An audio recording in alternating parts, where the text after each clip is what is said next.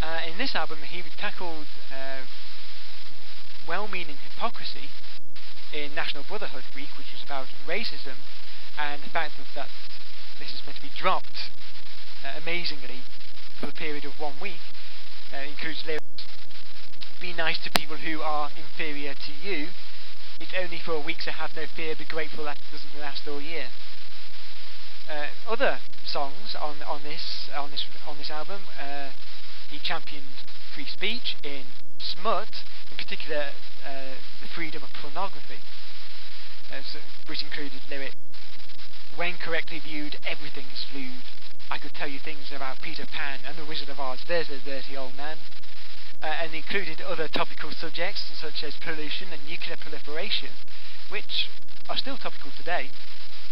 Uh, he hasn't forgotten his academic roots uh, in a song called which he, he was said, quoted as saying, This attempt to revise the teaching of mathematics in schools was something of a threat in 1965, but it subsequently passed through the curriculum not like a breath of fresh air, but more like a kidney stone. However, his most controversial song, perhaps his most controversial song ever, was in response to the Catholic Church's attempts to become more accessible to the general public. They had replaced uh, parts of the Latin Mass with the vernacular.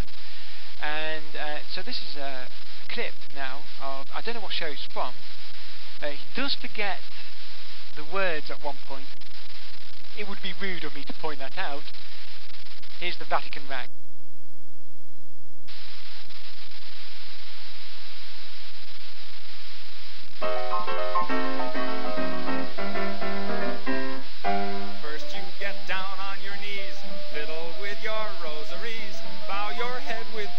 Respect and genuflect, genuflect, genuflect, and make do whatever steps you want if you have cleared them with the pontiff. Everybody say his own Kyrie eleison, doing the Vatican rag. Get in line in that processional, step into that small confessional. There the guy who's got religion. I'll tell you if your sin's original. If it is, try playing it safer. Drink the wine and chew the wafer. Two, four, transubstantiate. So get down upon your knees, fiddle with your rosaries. Bow your head with great respect and genuflect, genuflect, genuflect. Make a cross on your abdomen. When in Rome, do like a Roman. Ave Maria, gee, it's good to see you. Getting ecstatic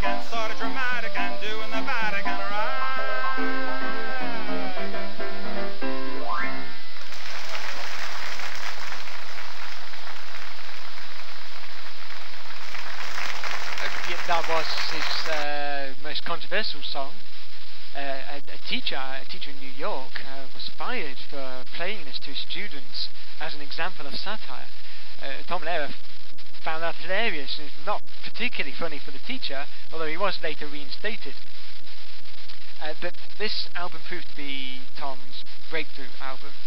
Uh, it, uh, society was becoming less prudish at the time, and these songs were already designed for the general public. So finally, he was getting some uh, airtime. Uh, in, in fact, uh, when he performed at the hungry i in San Francisco, he proved to be the nightclub's biggest draw in six years. However, all this was not enough to persuade him to continue performing. His last performance was during a tour of Scandinavia. He went on this tour. I got a trip out of it. However, his last performance was at the Falkoner Centret in Copenhagen on September the 12th, 1967. Uh, imagine that. Uh, imagine taking time out of your PhD just to go to Denmark. Uh, what a waste of time. However, he never actually returned to his PhD. He preferred teaching mathematics to researching mathematics, he decided, saying, I kept saying to myself, as if I ever get this dissertation written, I will never have to do any research again. Then I realized that I must be telling myself something, and so I decided enough is enough. I am familiar with that feeling myself. Uh, he did write a couple of papers. If you're interested, he co-authored a couple of uh, papers uh, on statistics. There they are. Uh, but he did say again later that, uh, slightly more succinctly, I wanted to be a graduate student all my life, and they wanted me to be a PhD. The two goals were incompatible. So he returned to teaching uh, at Harvard and MIT, and he also took a position at the University of California, all the way on the west coast, uh, at Santa Cruz. Uh, there where he taught mathematics, and also he taught a course on musical theatre. He would occasionally uh, come out of retirement to do a benefit for some political figure that he felt was going to lose. He didn't want to be responsible for helping anyone win. Uh, but for, apart from that, uh, he continued teaching uh, and returned to academia as if nothing had happened in his life. Uh, he was asked to write uh, some songs for a children's television workshop program called The Electric Company. this was a, a TV program to help children to read. I'm going to play a clip from the Electric Company. This is a Tom Lehrer song. It's not his best song. Uh, I'm playing this simply uh, for the novelty of uh, it features a young Hollywood star. Oh, I know. You got salads? We got salads. What kind of salads? All kinds of salads. We got a green salad, sardine salad, tangerine salad, magazine salad, jelly bean salad, blue jean salad, and special today, gasoline salad.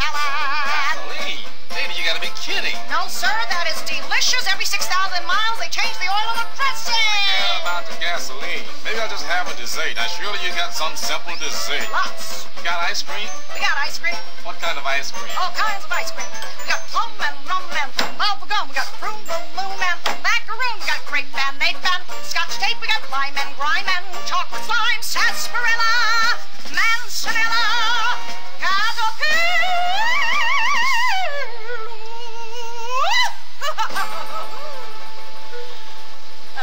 Just plain old-fashioned gorilla. What'll it be? Let's forget about it, lady. I'll just trot on over here to the laundromat and have myself a bowl of soap flakes. Uh, that there is uh, Rita Moreno. Uh, she she was Anita in West Side Story, and with Morgan Freeman. Uh, now, while Tom Lehrer was teaching mathematics, he had been approached a few times about making a turning his work into some sort of stage show. But in 1980, Tomfoolery opened uh, in London. So this was a revue of Tom Lehrer's songs, and it was quite successful and was performed all over the world. Uh, Tom Lehrer said, "It spread like herpes. I like it because I don't have to put much effort into, pr- into promoting it. You don't have to advertise herpes." Now this was produced by a young British producer called Cameron, Cameron Mackintosh. There's Cameron Mackintosh with Tom Lehrer. Uh, Cameron Mackintosh went on to produce the mega hits uh, Cats and Les Miserables. Uh, Tom is proud of saying that the combined profits of Tom Foolery and Cats made Cameron a rich man. Uh, Tom Lehrer surprised everyone a few years, a few years later uh, when he performed at a royal gala in honour of Cameron Mackintosh. And it, it, being a royal gala, he got to meet the Queen, who you know, went went by, shook his hand, uh, said, "How do you do? What do you do?" Uh, at a respectful distance, Prince Philip came along uh, and and said, "Oh, you know, thank you for performing Poisoning Pigeons in the Park. Uh, it's a you know, it's a favourite of ours. We used to play that all the time."